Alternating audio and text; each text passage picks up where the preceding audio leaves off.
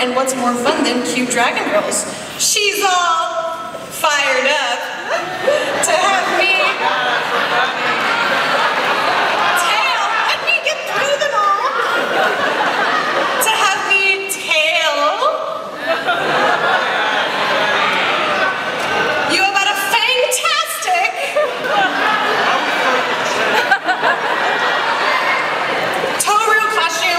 series Kobayashi-san Chi no Maid Dragon. She hopes that by creating her own pattern it has tipped the scales.